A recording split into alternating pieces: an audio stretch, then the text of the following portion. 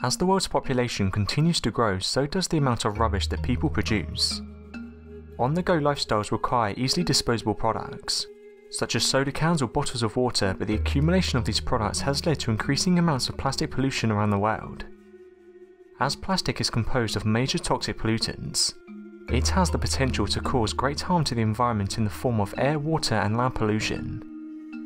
Put simply, plastic pollution is when plastic is gathered in an area and has begun to negatively impact the natural environment and create problems for plants, wildlife, and even human population.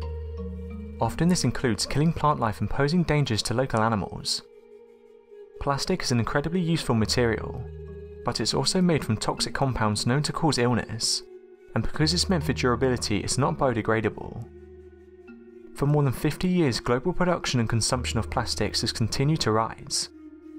An estimated 299 million tonnes of plastic were produced in 2013, representing a 4% increase over 2012 and confirming an upward trend over the years. Skipping Rocks Lab is an original sustainable packaging startup based in London. They are pioneering the use of natural materials extracted from plants and seaweed to create packaging with low environmental impact. Their first product will revolutionise the water on the go market. The spherical flexible packaging can also be used for other liquids including water, soft drinks, spirits, and cosmetics, and their material is actually cheaper than plastic.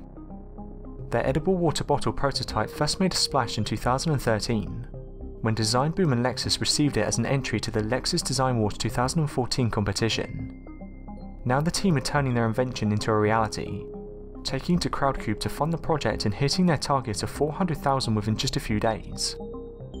The London-based company want to transfer from simply selling their water bubbles from pop-ups to challenging plastic waste on a global scale, piloting their water bubbles at major sporting events in 2018 What's great about this product is if you don't feel like eating it, the flexible bubble-like packaging biodegrades in just 4 to 6 weeks, the same time as a piece of fruit. The membrane can also be flavoured and coloured.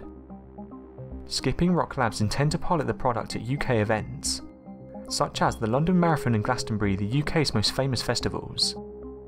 With a huge 750,000 bottles of water being handed out at the marathon alone, it's easy to see what impact the biodegradable bubble will have on plastic waste.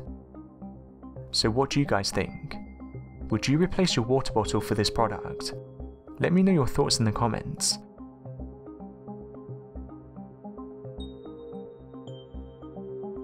Thanks for watching and don't forget to subscribe for more videos.